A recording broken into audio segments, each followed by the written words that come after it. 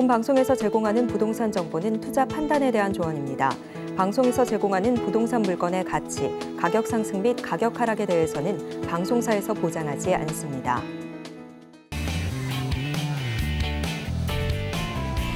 생생한 부동산 현장을 보여주고 들려주고 이야기하다 부동산 정보통 진행의 김미정입니다.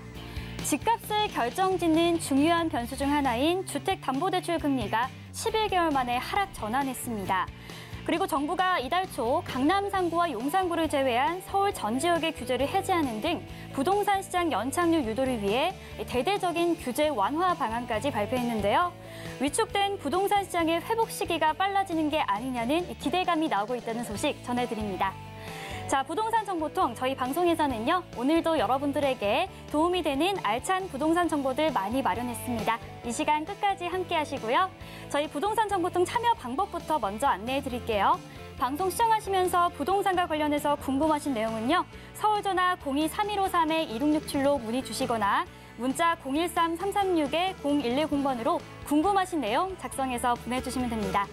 아울러 본 방송에서 제공하는 정보는 투자 판단에 대한 조언일 뿐 해당 부동산의 가치와 수익률을 보장하지 않습니다. 또한 서울경제TV와 서울경제신문은 당사 브랜드입니다. 브랜드를 사칭하는 기타 유사 명칭에 주의해 주시기 바랍니다. 자, 그럼 부동산 정보통 오늘도 힘차게 출발합니다.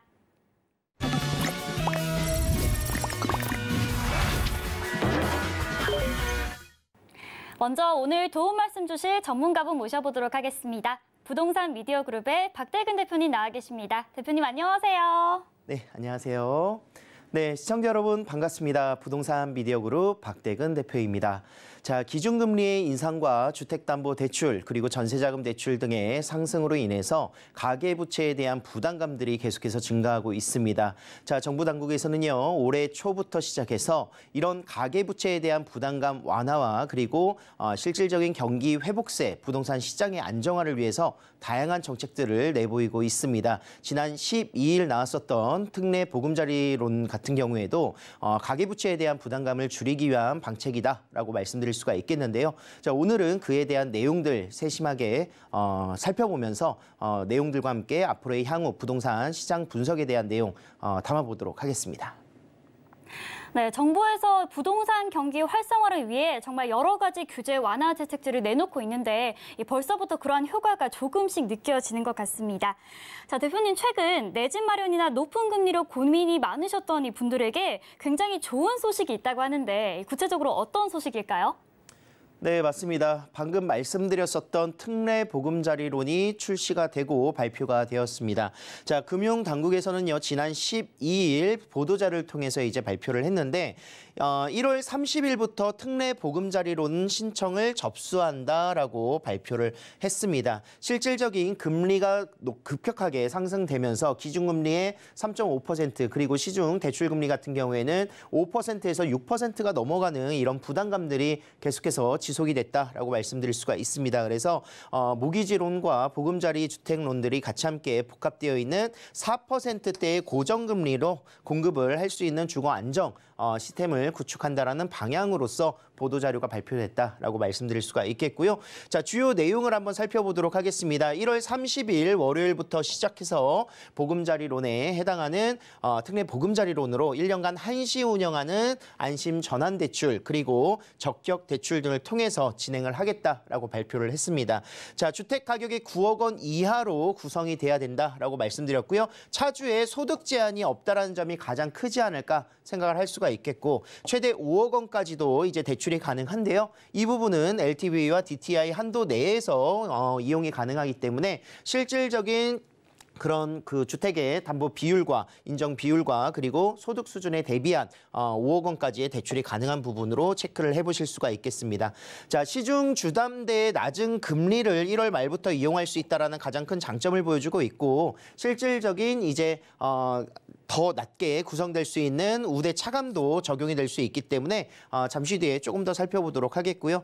자, 시장 금리의 상승이 점자, 점차적으로 이제 대출 금리에 반영이 되면서 실질적인 서민 그리고 실수요자 이자 부담이 굉장히 크게 작용됐었던 지난 한 해였습니다. 그로 인해서 어, 실질적으로 1주택자이더라도 대출을 활용해서 어, 무리한 주택 구입을 했었던 1주택자들 굉장히 고통을 많이 받았었던 그런 부분들이고 경기 자체도 굉장히 위축되어 있는 상황들이기 때문에 어, 금리의 인상으로 인해서 인플레이션 물가 상승을 잡겠다라고 했었던 어, 내용들과 상충될 수는 있으나 실질적인 가계 부채에 대한 부담감들을 줄일 수 있는 것이 우선적이다라고 발표를 했다라고 생각을 하실 수가 있겠습니다.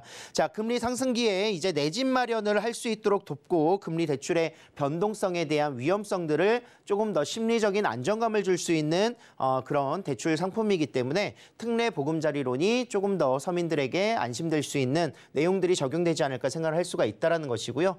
자, 주요 내용을 한번 살펴보도록 하겠습니다. 주택 가격 9억 원 이하의 주택이 대상이다라고 발표를 했습니다. 자, 순차적으로 이제 KB 시세와 그리고 한국 부동산원의 시세 그리고 공시가격이라든가 감정 평가액 순으로 이제 적용을 하겠다라고 발표를 했기 때문에 보통 인터넷에 들어가셔서 KB 시세 어, 확인하실 수 있다는 점에서 9억 원 이하의 주택의 대상이 된다는 거 미리 체크를 하셔야 될 것 같습니다. 자 그리고 어, 지금 기존 보금자리론이 어, 실질적인 소득 제한이 있었던 부분에서 소득 제한이 없다라는 점이 굉장히 큰 메리트가 다가올 것 같고요. 어, 그렇지만 이제 우대 금리를 적용받기 위해서는 본인 차주 그리고 또 배우자라든가 소득 자료를 증빙할 필요는 있다라고 볼 수가 있겠습니다. 자, 자금의 용도가 주택을 단순히 구입하는 용도뿐만이 아니라 어, 상환의 용도, 기존 대출을 대환하는 어, 상환의 그런 용도도 가능하고요. 그리고 임차인 보증금 반환을 해야 되는데 있어서 요즘 전세가가 또 굉장히 낮게 형성되어 있기 때문에 보 증금 반환이 어려울 경우에는 보전 용도로서 대출을 활용할 수 있겠다. 그래서 이 세 가지의 방법으로 대출의 자금 용도를 사용하실 수가 있겠습니다. 자, 주택 수는 당연히 무주택자가 기본적인 어, 적용 대상이다라고 말씀드릴 수가 있겠고요. 1주택자는 상환이라든가 보전 용도로 이용하실 수 있다라는 점 어, 일, 어, 확인을 하셔야 되고 그리고 어, 대체 주택을 이제 취득하기 위해서 일시적 2주택자의 경우에는 기존 주택을 2년 이내에 처분하는 조건으로는 대출이 가능하다. 라고 말씀드릴 수가 있습니다.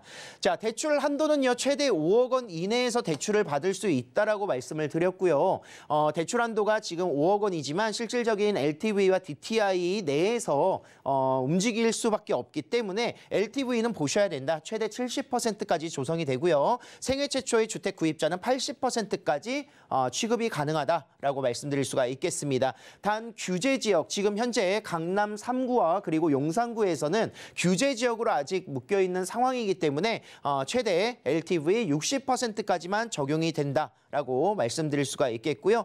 자, DTI는 최대 60%입니다. 대출이 60% 내에서 취급이 될 수 있고 DSR은 미적용된다는 모습을 어, 상기 어, 말씀드릴 수가 있겠습니다. 하지만 이것 역시 규제 지역 내에서는 10%의 포인트 차감이 될 수 있기 때문에 50%까지 DTI로 구성을 해서 보셔야 된다라고 말씀드릴 수 있습니다.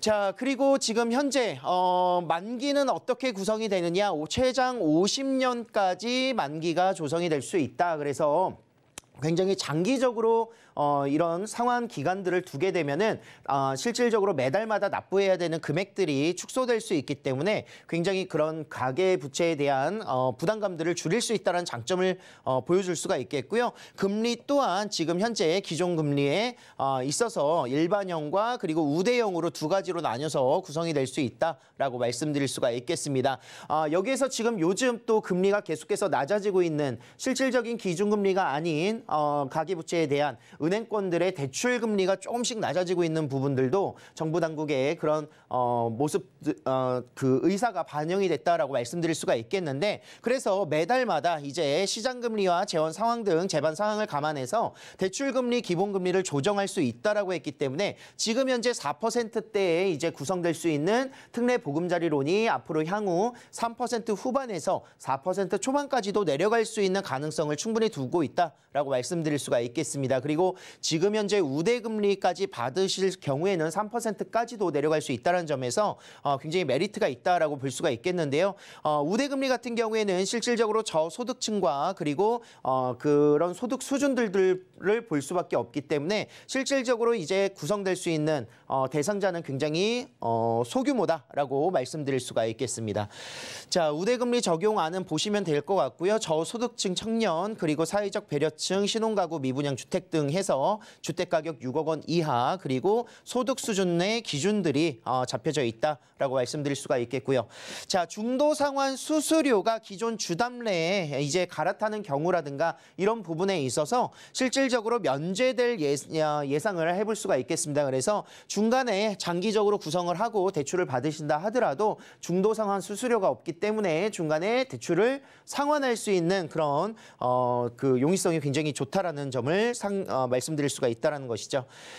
자, 정리를 좀 해보도록 하겠습니다. 특례 보금자리론 어, 지금 현재 어, 나온 지 출시된 지 이제 며칠 안 됐고 어, 올 어, 이번 달 말부터 이제 본격적으로 어, 신청이 진행이 될 것 같습니다. 그래서 1월 30일부터 신청을 할 수가 있겠고요. 약 한 달 정도 소요가 돼서 바로 2월 달부터는 어, 자금들이 풀리지 않을까 생각을 하고 있습니다. 1년 한시적으로 운영해서 실질적으로 1년 뒤에는 또 없어질 수 있는 상품이라는 점에 굉장히 오래 좀 준비를 해놓으시고 내 집 마련이라든가 또는 어, 높은 고금리의 부담감을 대안으로서 이제 신청을 하실 수 있는 부분들에게 큰 메리트가 될 것이다 라고 말씀드릴 수가 있겠습니다. 자, 가격은 주택 가격 9억 원 이하 그리고 소득 제한이 없다라는 큰 장점을 보여주고 있고요. 최대 5억 원까지 인하 그리고 어, 지금 현재 LTV나 DTI와 함께 중복 적용이 가능 어, 그 두 가지를 어, 살펴봐서 가장 낮은 어, 금액으로 구성이 될 것이다 라고 말씀드릴 수 있습니다. 또 DSR은 미적용이 된다라고 보실 수가 있겠고요. 자, 시중 주 주담대보다도 0.4에서 0.9% 정도가 낮다라는 점이고요. 최장 50년까지 고정금리로 안정성을 확보했다, 확보했다는 점에서 굉장히 메리트가 있다. 라고 말씀드릴 수가 있겠습니다. 하지만 어, 좀 전에 말씀드렸다시피 지금 현재 금융당국은 가계부채에 대한 부담감들을 완화시키고 시장 경제의 그런 활성화를 위해서 실질적인 그런 대출 금리에 대한 인하를 계속해서 어, 좀 요청을 하고 있습니다. 그래서 금리가 계속해서 지금 현재 낮아지고 있는 상황들이 보여주고 있기 때문에 어, 앞으로는 이제 지금 현재 나, 나와 있는 4%의 그런 금리들이 특례 보금자리론도 더욱더 떨어질 수 있는 요소들 요소들도 가지고 있다라고 볼 수가 있다는 것이고요. 자, 주택 구입에 대한 목적성 그리고 대환 대출 기존에 받았었던 대출을 바꾸고자 하는 경우 그리고 전세금 반환 등에 대한 어, 이런 목적들을 활용해서 가능하다라고 말씀드릴 수가 있겠습니다. LTV는 70%고요. 생애 최초일 경우에는 80%까지 적용이 되고 DTI는 60%, 규제 지역은 10%씩 하향된다. 라고 정리를 해볼 수 있습니다. 자, 디딤돌 대출을 활용하고 나서 나머지 금액에 대한 특례 보금자리 주택론을 사용할 수 있느냐 가능합니다. 그래서 두 가지를 복합적으로 이 소, 어, 최대 5억 원 이내에서 활용할 수 있다는 점이 어, 가장 큰 장점이 될 것 같고요. 디딤돌 같은 경우에는 최대 3, 3억 5천 정도까지도 나올 수 있기 때문에 그 이후에 대한 1억 5천들을 특례 보금자리론으로 대체할 수 있다 이렇게 말씀드릴 수 있습니다. 자, 1주택은 당연히 무주택 사업자와 1주택을 유지해야 된다는 전제 조건이 깔려 있고요. 대출을 발생시키고 나서 추가 주택을 취득할 수는 없다. 그리고 추가 취득을 하더라도 6개월 이내에는 처분을 해야 된다라고 말씀드릴 수 있습니다. 자, 분양권을 가지고 있으시거나 또는 입주권을 가지고 조합원 입주권을 가지고 있으실 경우에는 어, 구입 용도에 한해서 2년 이내에 처분 조건을 가지고 계신다면 특례 보금자리론을 받으실 수 있다. 이렇게 여기까지 정리를 해볼 수가 있겠습니다. 네, 특례 보금자리론을 함께 살펴봤는데요. 저와 같이 내 집 마련을 꿈꾸는 우리 무주택자들에게 굉장한 희소식이 아닐까 싶습니다. 9억 원 이하의 주택을 대상으로 하고요. 그리고 기존의 보금자리론과 달리 소득 제한이 없다는 점, 그리고 또 이외에도 뭐 최대 5억 원 이내에서 대출을 받을 수 있다는 점, 또 우리 대표님께서 여러 가지들 좀 말씀을 상세하게 해주셨는데 여러분들 이러한 부분들 잘 참고해서 도움이 되셨으면 좋겠습니다. 자, 그리고 부동산 시장의 연착륙을 위해서 정부에서 정말 이외에도 다양한 방법을 지금 어, 발표한 것으로 알고 있는데요. 추가적인 대책에는 어떤 내용들이 예고되어 있을까요? 자, 오늘까지 발표됐었던 내용들 이후에도 지금 현재 부동산 시장의 연착륙을 위해서 추가적인 대책들이 계속해서 나올 것으로 예상이 되고 있습니다. 그중에 대표적인 어, 내용으로서 금리 인하, 아, 말씀드렸다시피 기준금리 같은 경우에는 3.5% 지금 현재 1월 달에 인상이 되어 있죠. 그렇지만 앞으로 향후 하반기에는 더욱더 상승할 수 있는 물가 안정을 위해서 하는은 계속해서 상승을 이야기를 하고 있으나 금융당국에서는 말씀드렸다시피 실질적인 경기의 그런 위축과 그리고 경기의 활성화를 위해서 어, 금리의 인상에 대한 부담감들을 계속해서 이야기를 하고 있다. 그렇기 때문에 일시적으로 실, 실질적으로 지금 현재로서는 어, 담보대출 같은 경우에는 금리 인하가 계속해서 나오고 있다라는 점이죠. 어, 기준금리와 시중 대출금리의 그런 어, 반대로 움직이는 이런 상황들이 나타나고 있다는 것인데 어, 이번 주에 나왔었던 내용들 뭐 인터넷뱅크 같은 경우에도 지금 현재 4%대 어, 주택담보대출과 신용대출 금리들을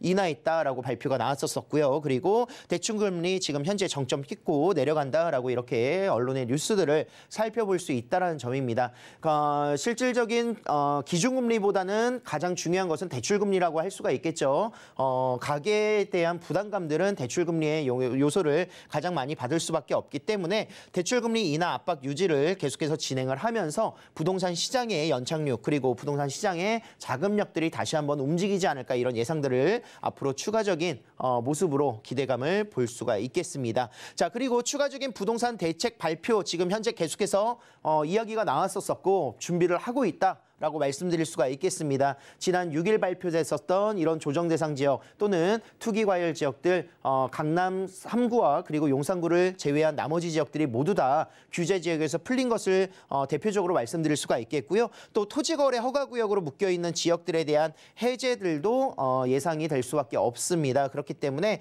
어, 실질적으로 지금 잠삼대청이라든가 이런 지역들도 토지 거래 허가 구역이 풀리게 된다면 그에 반등해서 올라갈 수 있는 또 투자할 수 있는 방법 방법들이 굉장히 많아질 것 같고요. 그리고 대출적인 부분에 대한 규제도 추가적으로 DSR 해제, 지금 현재 특례 보금자리론이 지금 어, 발표를 했었던 DSR의 무적용 어, 대상들이 앞으로는 더욱더 확장되지 않을까 이런 예상들을 해볼 수가 있겠습니다. 그리고 2월 달로 예정되어 있는 지금 현재 주택임대 사업자 정상화 방안들 어, 아파트를 등록할 수 있고 그리고 실질적으로 주택 어, 임대 사업자의 그런 어, 주, 어, 그 임대차 시장의 안정화를 위해서 어, 이런 다주택자리 받을 수 있는 혜택들 이것이 가장 크다라고 말씀드릴 수가 있겠습니다. 장기 보유 특별 공제라든가 또는 양도소득세의 그런 중과 배제 그리고 종합부동산세의 합산 배제들이 굉장히 큰 어, 메리트로 다가올 것이다라고 말씀드릴 수가 있겠고요. 또 추가적인 주택 구입을 통해서 투자를 하시거나 또는 이런 임대차 시장의 공급을 원활하게 할 수 있는 부분들에 대한 어, 취등록세 감면 혜택들도 같이 함께 구성될 수밖에 없기 때문에 주택임대 사업자의 그런 정상화가 앞으로는 부동산 시장에 큰 어, 영향을 끼칠 것이다 라고 말씀드릴 수가 있겠습니다. 특히나 투자를 좀 고려하시고 지금 현재로서는 어, 무분별하게 지금 뭐 금매성으로 이렇게 물건을 내놓으시는 것이 어, 정답은 아닌 것 같습니다. 그래서 조금 더 시장 추이를 지켜보셔도 좋을 것 같고요. 그리고 투자를 생각하시는 분들 같은 경우에도 주택임대 사업자 등록을 통해서 활용을 하신다면 절세할 수 있는 방법 그리고 또 서울 지역에서는 어, 재개발과 재건축 시장이 굉장히 활성화될 수 있는 방안들이 어, 앞으로 추가 대책에 마련될 수밖에 없습니다. 그리고 지금 현재 어, 이런 신속 통합 기획의 2차 선정지라든가 또는 모아타운 어, 굉장히 활발하게 움직이고 있거든요. 어, 시너지가 날 수 있다라는 부분이죠. 주택임대 사업자의 정상화, 재개발, 재건축의 사업들 어, 실질적으로 이런 주택들에 대해서 대출이 지금 걸려 있기는 하나 현금을 보유하고 계시거나 또는 취등록세 감면들 그리고 금리가 안정화될 수 있다라는 앞으로의 향후 기대감으로 굉장히 재개발과 재건축 시장들이 앞으로는 활성화될 수 있는 요소를 많이 가지고 있다라고 보여질 수가 있겠습니다. 네, 특례 보금자리론 이외에도 부동산 시장의 정상화를 위한 여러 가지 추가 대책들에 대해서 좀 말씀을 해 주셨는데요. 저희가 이외에도 이렇게 부동산 대책과 관련해서 추가적으로 나오는 발표가 있으면 저희 부동산 정보통해서 발빠르게 전달해 드리도록 하겠습니다. 자, 저희 방송 보시면서 궁금하신 내용은요. 02-3153-2667로 전화 주시거나 문자 013-336-0110번으로 궁금하신 내용 작성해서 보내주시면 됩니다. 네, 박대근 전문가의 강의를 무료로 들을 수 있는 세미나에 대해서 안내해 드리도록 하겠습니다. 네, 2023년 부동산 시장 전망 및 투자 전략이라는 주제로 매주 화요일과 일요일 오후 1시에 2, 3호선 교대역 인근에서 무료 세미나가 열리고 있습니다. 세미나에 관심 있으신 분들은 02-3153-2667로 예약 꼭 해주시고 방문해 주시면 됩니다. 네, 전문가의 무료 세미나를 통해서 여러분들 올해 내 집 마련 꼭 성공하셨으면 좋겠습니다. 자, 오늘 이렇게 도움 말씀 주신 박대근 대표님 이만 보내드리도록 하겠습니다. 대표님 감사합니다. 박대근 전문가의 무료 세미나 저희 화면으로 한 번 더 정리해 드릴게요.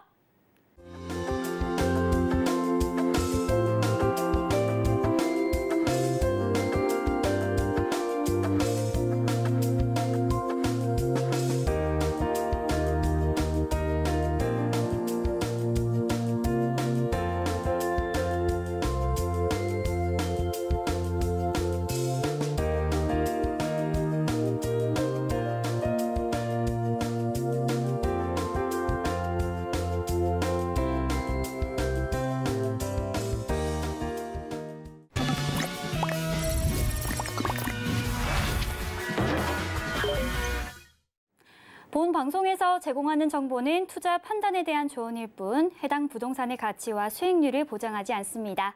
계속해서 다음으로 도움 말씀 주실 전문가분 모셔보도록 하겠습니다. 부동산 미디어 그룹의 김성진 소장님 나와 계십니다. 소장님 안녕하세요. 네, 안녕하세요. 네, 소장님 인사 말씀 부탁드립니다. 그리고 한 해가 많이 바뀌면서 많은 제도들이 많이 변경이 되고 있습니다. 또 올해는 상당히 또 기대를 불러일으킬 만한 제도와 그리고 또 이런 어, 저 세금적인 부분들이 많이 완화가 되기 때문에 어, 내 집 마련이나 또한 이런 집안의 어, 집값의 사이클이 상당히 많이 변동이 예상이 되고 있기 때문에 올해 시장 상당히 많이 또 주목을 해보시면서 어, 얼마 남지 않은 또 이러한 연휴나 또 그런 것들을 건강과 함께 같이 잘 관리하시길 바라겠습니다. 네, 맞습니다. 올해는 여러 가지 규제들이 완화될 예정이기 때문에 우리가 좀 기대를 해볼 만하지 않을까 싶은데요. 자, 그럼 소장님과 함께 알아볼 유망 지역과 부동산 정보 바로 만나보도록 하겠습니다. 네, 9호선 샘터공원역 역세권에 위치한 1.5룸 다세대 주택인데요. 전용 면적은 약 30제곱미터이고요. 시세는 4억 2천만 원에서 4억 2천5백만 원에 형성이 되어 있습니다. 자, 소장님과 함께 만나볼 첫 번째 지역, 바로 서울시 강동구에 위치한 고덕동입니다. 네, 소장님 먼저 해당 지역의 주요 포인트부터 만나볼까요? 그렇죠. 이 강동구죠. 어, 강남 3구 바로 옆에 붙어 있는 강동구죠. 강동구는 아무래도 이 강남 3구 자체가 규제 지역에 묶였기 때문에 그 주변 지역으로서의 수요층 이동이 상당히 예상이 되고 있고 또한 그에 맞는 개발이나 또 직장군의 뭐 생성이나 또 이러한 안정적인 주거 지역이 계속적으로 생성이 되고 있기 때문에 앞으로 이러한 균형 발전이겠죠. 교통과 또 이런 주거와 또 상업 지역과 또 일자리 이런 것들이 균형 발전을 통해서 지금보다는 더욱더 좋아질 수밖에 없는 여건들을 가지고 있는 또 지역이기 때문에 앞으로의 향후 강남 4구로서의 기대가 될 수밖에 없는 또 지역입니다. 아, 기본적으로 이제 9호선 연장선이 되기 때문에 현재는 이제 강동구 자체는 다양한 노선들이 연장이 계속 진행 중에 있지만 그중에서도 이 9호선이 갖고 있는 힘이 상당히 크기 때문에 이 9호선의 연장선이 내 집 앞까지 바로 역세권으로 들어온다는 점은 상당히 9호선 샘터공원역이 예정돼 있기 때문에 이것이 착공과 완성에 다다르면은 상당히 그러한 그 지역의 가치도 재평가가 될 수밖에 없는 이러한 가치의 조건도 가지고 있고요. 그에 따라서 이제 고덕 업무 단지라는 곳이 새롭게 생겨나고 있죠. 현재 하나 둘씩 준공이 되면서 기업체들이 이곳에 들어오고 상권이 좋아지고 또 주변의 강남과 도심과의 연결성이 좋겠지만 각각의 이런 가지고 있는 지역들이 직장군들이 탄탄하게 받쳐주고 있기 때문에 어, 이러한 인기 지역으로 불리는 것들인데 이 고덕동, 강동구 고덕동 자체도 이 업무 단지가 새롭게 생겨나면서 주거와 또 업무와 또 상, 이러한 어, 일자리, 인프라, 또 교통까지 더욱더 좋아지는 직주 근접의 입지를 만들어진다는 것도 포인트로 보시면 될 것 같아요. 서울에 이렇게 균형적인 부분이 맞춰주는 그런 지역들이 또 흔치 않기 때문에 말씀드리는 것들이고요.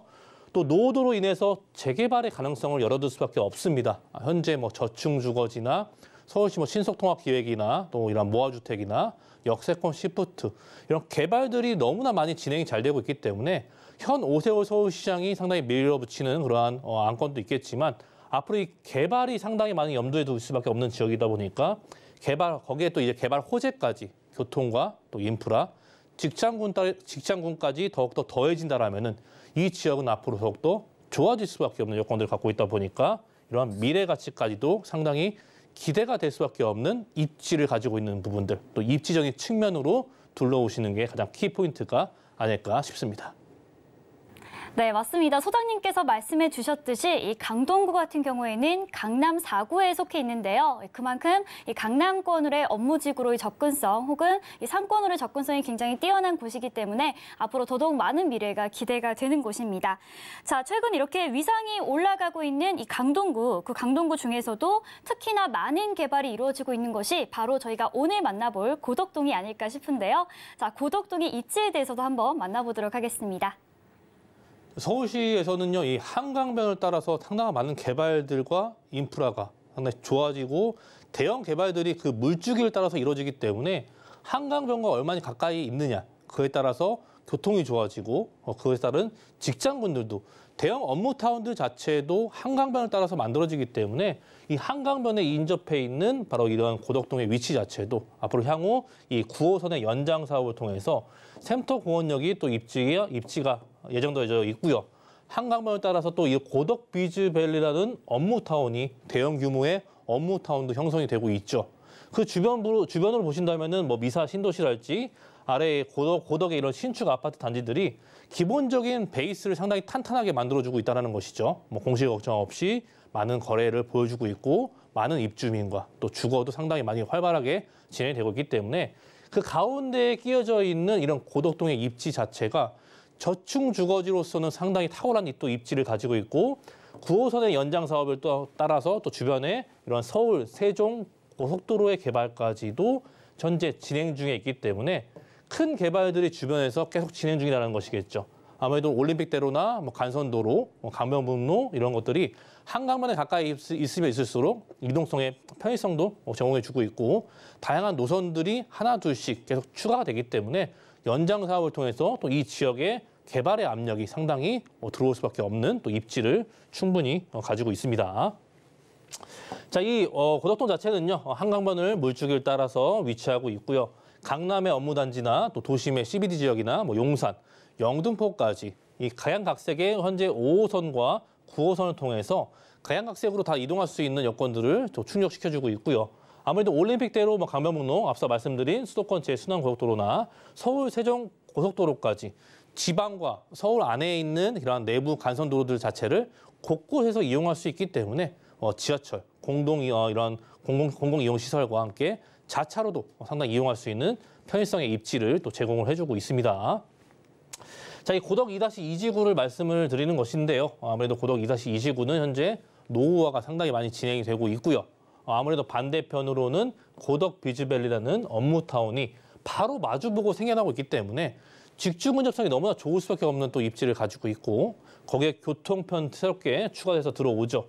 어, 앞으로 9호선 연장 사업을 통해서 샘터 권역이 생겨나는 것들이고 바로 왼쪽으로는 이제 어, 서울 세종 고속도로의 개발이 현재 진행 중이기 때문에 녹지 공간과 중학교, 초등학교, 학군, 녹지 또 이런 저층 주거지, 노후도, 지필도 또 필지의 영역 자체가 상당히 어, 워낙 그 필지 구성이 잘 되어져 있기 때문에 이러한 높은 현재도 높은 점수를 가지고 있고 향후 신석 통합 계획이나 아, 다른 이러한 여- 다양한 방향성의 재개발로서의 방향성이 잡힐 수밖에 없는 입지를 가지고 있다는 것을 또 보여주고 있습니다. 또 서울시에서도 국토부에서는요 2040 계획 플랜을 통해서 또 35층의 이런 높이 규제 어, 규제가 삭제가 되었죠. 상당히 중요한 부분이고요. 그 한강변을 따라서 있는 재건축이나 또 재개발하는 그 재개발을 앞두고 있는 그 지- 그런 지역들은 이러한 기준 규제가 완화가 됐고 폐지가 됐기 때문에 아, 이런 혜택들을 받을 수밖에 없겠죠. 앞으로 사- 새롭게 지어지는 건축물들 자체가 어, 층수 규제 완화가 없기 때문에 상당히 고층적인 이러한 스카이라인을 형성할 수밖에 없는 것들이고요.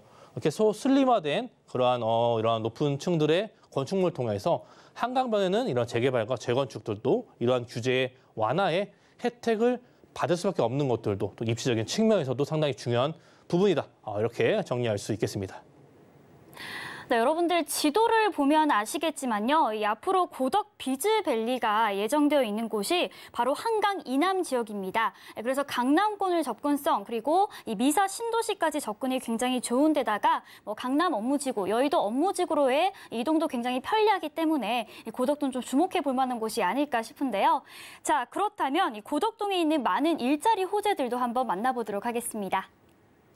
그렇죠. 이런 일자리가 상당히 중요한 부분이죠. 아무래도 수요층도 중요하겠지만 그 지역에 많은 수요층이 머물고 있기 때문에 그에 따르는 직장군과 업무타운이 새롭게 생겨나면서 이런 업무시설과 함께 상업과 업무와 주거가 균형적으로 발전될 수 있게끔 어, 국토부에서 그런 개발, 개발 계획을 짜기 때문에 어, 이러한 업무 시설도 그에 따라서 어, 그 위쪽으로 필지가 상당히 어, 구성이 잘 되어져 있고요.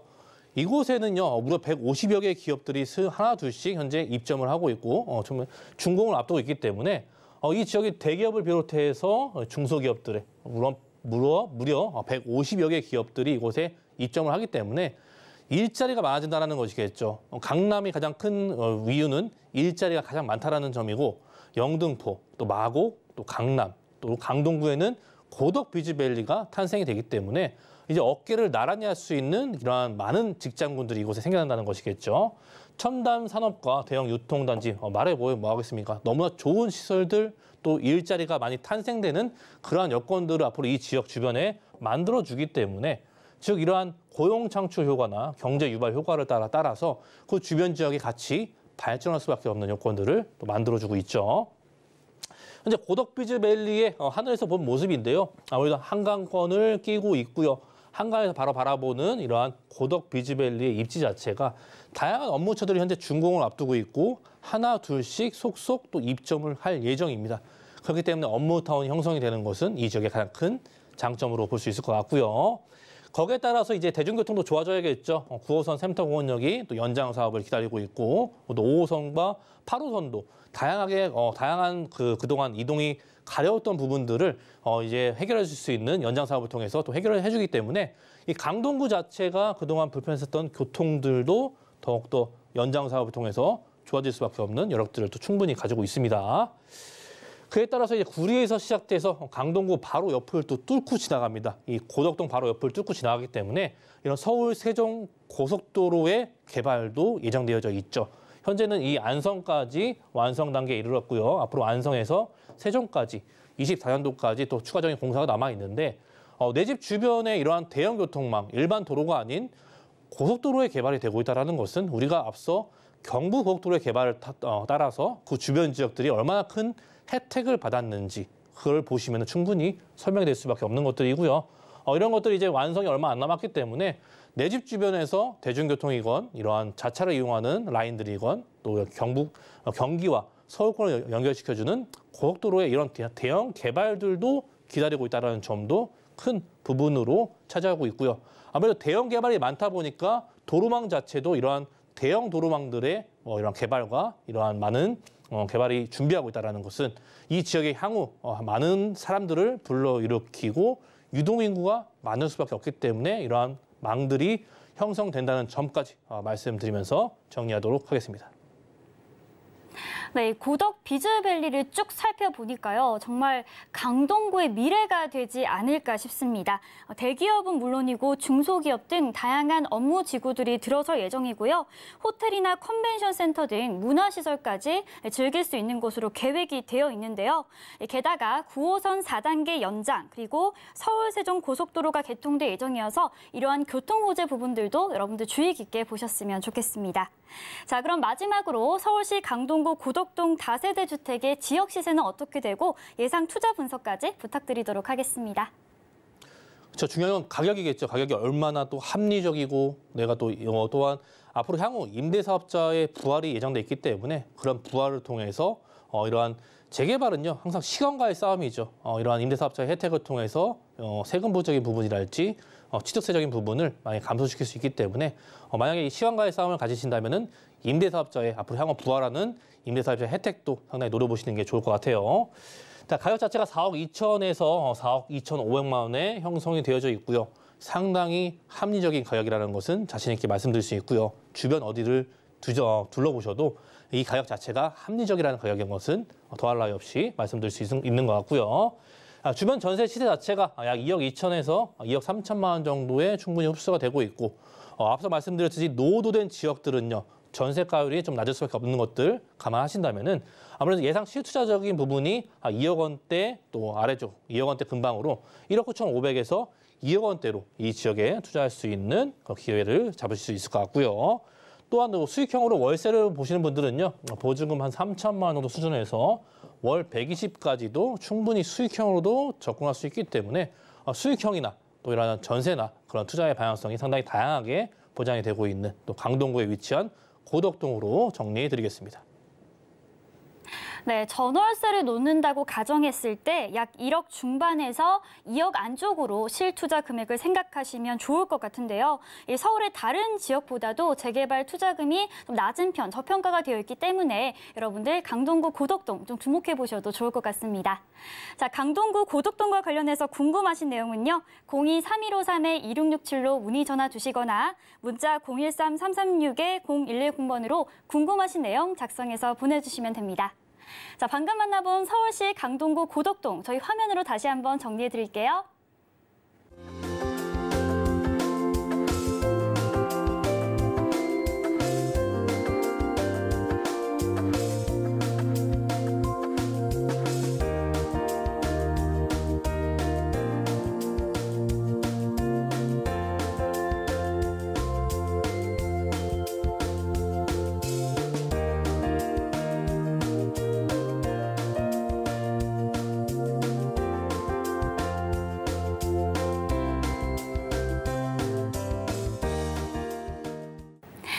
계속해서 소장님과 함께 알아볼 유망 지역과 부동산 정보 만나보도록 하겠습니다. 네, 1호선 남영역과 6호선 삼각 지역이 지나는 역세권에 위치한 투룸 오피스텔인데요. 전용 면적은 약 17제곱미터이고요. 시세는 5억 2,500만 원에서 5억 3,500만 원에 형성되어 있습니다. 자, 두 번째로 만나볼 곳은요. 서울시 용산구에 위치한 문배동입니다.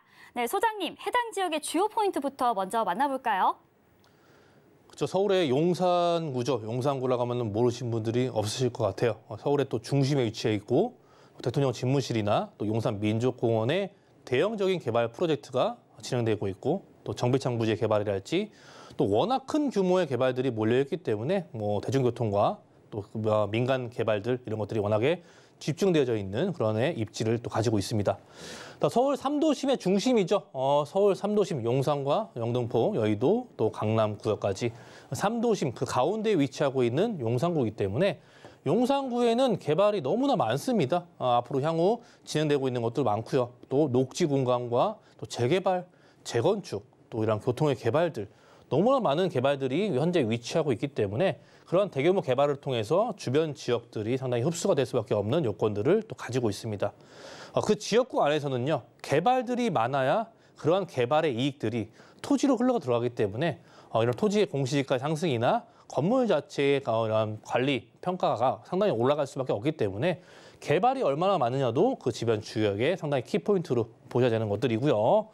대규모 유입수가 상당히 유지되고 있죠. 어, 이 지역은요 어, 주변에 재건축과 재개발도 꾸준히 진행이 되고 있고요. 한강변을 따라서 다양한 개발들이 앞서 말씀드린 이러한 고- 개발들이 진행이 되고 있기 때문에 현재 탄탄한 수요층의 배우 수요가 갖고 있는 그만큼 안정적인 임대를 놓을 수 있는 또 입지에 있는 것으로 어, 이렇게 말씀드릴 수 있을 것 같고 어, 개발과 또 이러한 선제의 녹지 공간과 주거의 삶의 질 그리고 이동성 이러한 다양한 것들을 어, 종합적인 점수를 보자면은 어, 앞서 보시겠지만 용산구에는 입지는 상당히 탄탄하게 입지가 배치가, 되- 배치가 되어져 있다 이렇게 정리할 수 있겠습니다. 네, 사실 용산구는 이미 많은 분들이 주목하고 계실 것 같은데요. 이 서울의 3대 업무 지구 중 종로와 여의도 쪽이 가깝기 때문에 이 용산구 무척이나 여러분들이 좀 중요하게 보시는 곳 중 하나일 것 같습니다. 자, 이렇게 편리한 교통과 우수한 인프라가 갖춰져 있는 용산구 문배동. 특히나 이 용산이라는 입지가 가진 미래 가치를 우리가 좀 주목해 봐야 할 것 같은데요. 자, 입지가 어떤지 보다 자세하게 만나보도록 하겠습니다.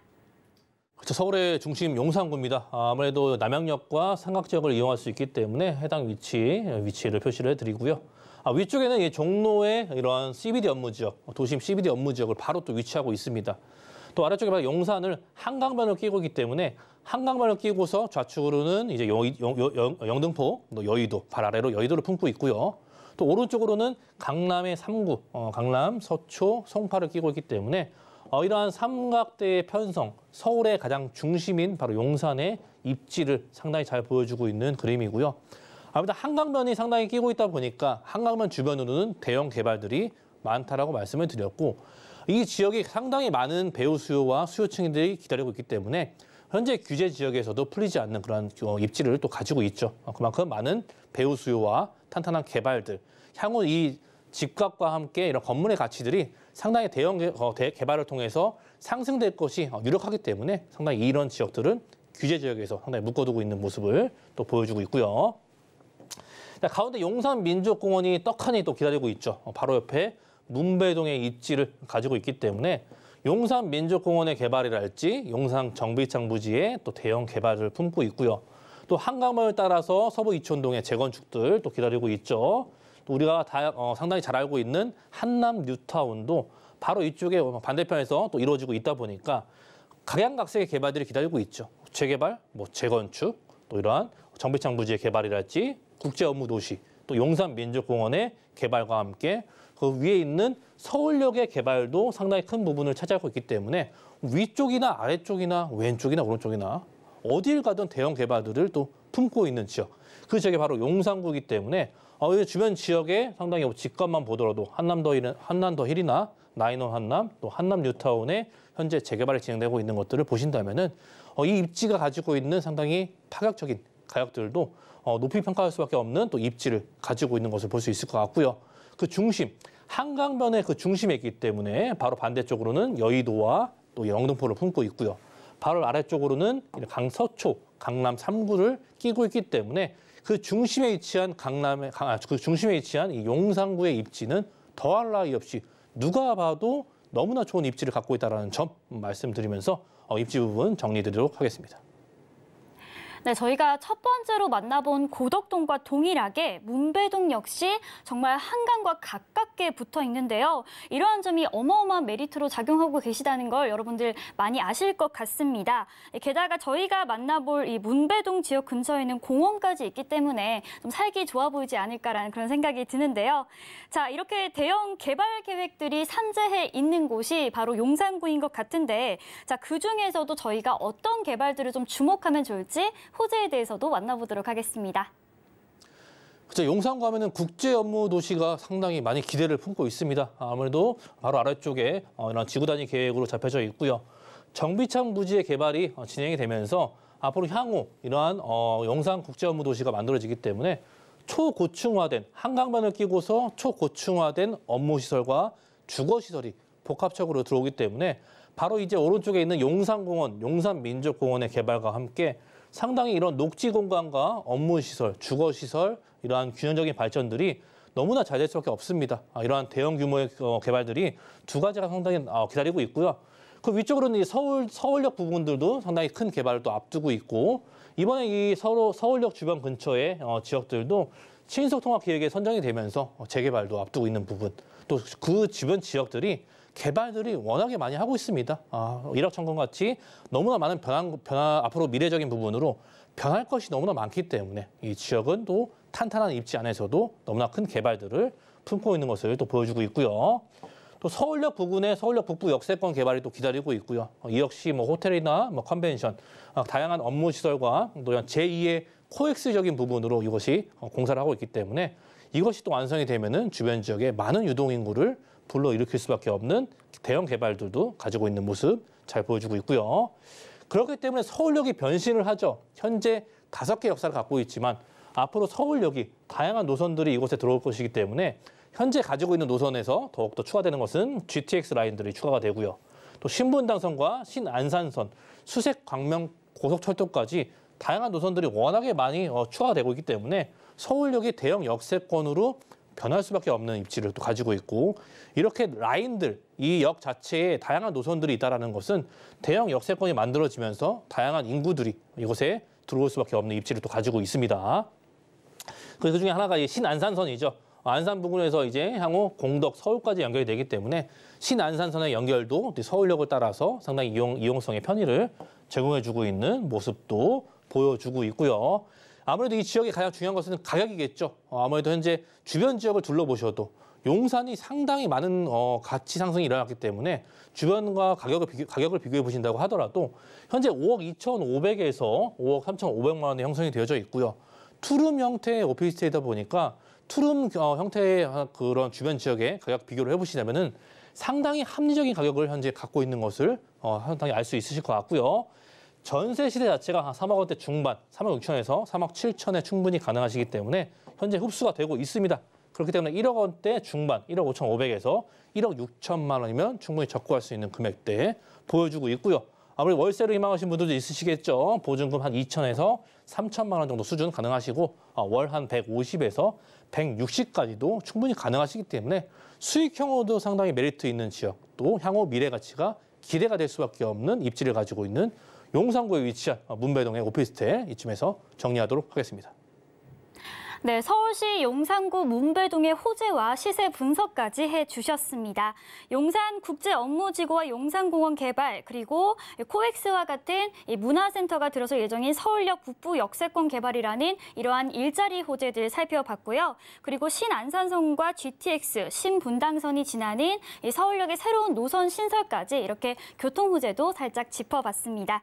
자, 저희 용산구 문배동과 관련해서 궁금하신 내용은요. 02315 3 2 1667로 문의 주시거나 문자 013-336-0110번으로 궁금하신 내용 작성해서 보내주시면 됩니다. 자, 오늘 이렇게 고생하신 김성진 소장님 이만 보내드리도록 하겠습니다. 소장님 감사합니다. 네, 방금 만나본 서울시 용산구 문배동 저희 화면으로 정리해 드릴게요.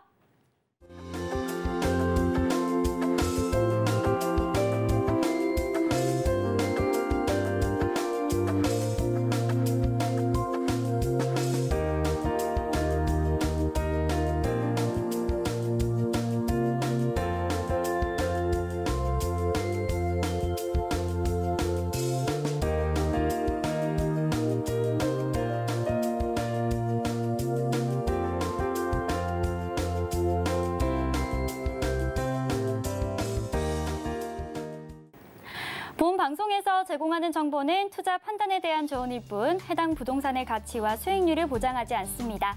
또한 서울경제TV와 서울경제신문은 당사 브랜드입니다. 브랜드를 사칭하는 기타 유사 명칭에 주의해 주시기 바랍니다. 아쉽지만 저희가 준비한 소식은 여기까지입니다. 시청해주신 여러분 고맙습니다.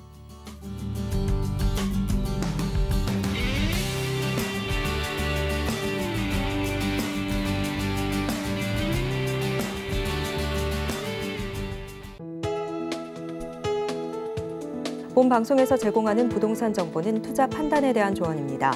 방송에서 제공하는 부동산 물건의 가치, 가격 상승 및 가격 하락에 대해서는 방송사에서 보장하지 않습니다.